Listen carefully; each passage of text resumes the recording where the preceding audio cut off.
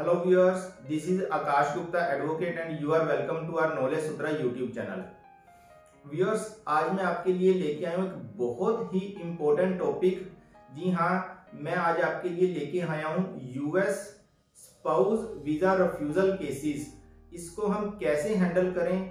Visa refuse होने के बावजूद भी कैसे यूएस में एंट्री लें? और वो जो रिफ्यूजल लगी है, उसका रिप्लाई या अपील कैसे सबमिट करें? तो व्यूअर्स सबसे पहले मैं आपको बता देता हूँ कि जो भी स्पाउस केस यूएस के रिगार्डिंग अप्लाई करते हैं तो उसमें आपके पार्टनर की इंटरव्यू होने के बाद बहुत चांसेस होते हैं कि वो आपका पार्टनर का वीज़ा रिफ्यूज कर दें और उसे section 221 G immigration and nationality act का नोटिस सर्व कर दे। इस नोटिस में यूएस इमिग्रेशन जो है, वो नाइन पॉइंट्स पे आपका रिप्लाई आपसे मांगती है। अगर ये रिप्लाई आप एक अच्छे ढंग से रिप्रेजेंट करके और प्रॉपर फैक्ट्स के अकॉर्डिंग सबमिट करते हैं तो लगभग लगभग 100 परसेंट चांसेस होते हैं कि आपका वो रिफ्यूजल टूट जाए और आपको स्पाउस वीज़ा मिल जाए। तो व्यूअर्स आपने देखा होगा कि मैं अक्सर अपनी वीडियोस में बताता हूँ कि आपको इन मैटर्स के लिए या इन मैटर्स के लिए किसी एडवोकेट की रिक्वायरमेंट नहीं है। पर ये वाला मैटर एक ऐसा है, इसमें आप किसी अच्छे एडवोकेट से रिप्लाई ज़रूर तैयार करवाएँ। ये एक इतना इम्पोर्टेंट नोटिस होता है जिसका रिप्लाई आप अपने आप से कभी भी तैयार ना करें। किसी एक्सपर्ट एडवोकेट की राय ज़रूर हासिल करें। तो मैं आपको व्यूअर्स अब बताने लगा हूँ, वो कौन कौन से पॉइंट्स हैं जिसमें ये नोटिस इशू किया जाता है। तो जो ये सेक्शन 221 जी 221 जी का नोटिस होता है इसमें नाइन पॉइंट्स होते हैं। सबसे पहला पॉइंट वो आपसे जो मांगते हैं evidence of marriage second point वो आपसे जो मांगते हैं वो proof of printing wedding invitation और list of guests with their details third list of wedding vendors and their contact information next point है इसमें।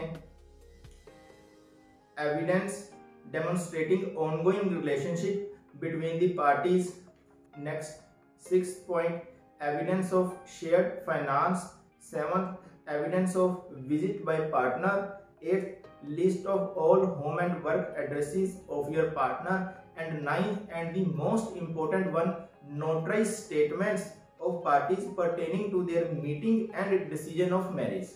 तो इन नाइन पॉइंट्स के ऊपर आपको एक डिटेल्ड रिप्लाई सबमिट करना होता है वो रिप्लाई एक ऐसा होना चाहिए कि जिसे फ़र्स्ट साइट में देखकर पढ़कर कोई भी इमिग्रेशन ऑफिसर जिसने इस बात के ऊपर आपके वीज़ा के ऊपर डिसीज़न लेना है वो फुल फ्लैज कन्विंस हो जाए कि आप आ, कि आप दोनों की रिलेशनशिप को उसके ऊपर बिल्कुल भी डाउट ना हो। मैं आपको बता देता हूँ कि ये वाला नोटिस उसी कंडीशन में इशू किया जाता है जब जो इमिग्रेशन ऑफिसर है या जो आपका इंटरव्यू ले रहा है आपके पार्टनर का इंटरव्यू ले रहा है अगर उसे ये डाउट होता है कि ये आपकी जो मैरिज है, ये सिर्फ़ और सिर्फ़ फॉरेन जाने के पर्पज से या यूएस में एंट्री लेने के पर्पज से ही आपने करवाई है।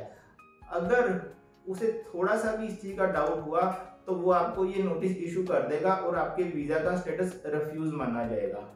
तो इसलिए ज़रूरी है, इस नोटिस का रिप्लाई एक इस तरीके से तैयार किया जाए ताकि जो वीज़ा ऑफिसर है वो पूरी तरह से कन्विंस्ड हो कि आपका ये जो हस्बैंड वाइफ का रिलेशनशिप है, ये सिर्फ़ यूएस में एंट्री लेने के लिए नहीं है, ये जेनुअन रिलेशनशिप है। इससे मैरिज से पहले भी आप ऑनगोइंग कम्युनिकेशन में थे और मैरिज के बाद तो हो ही।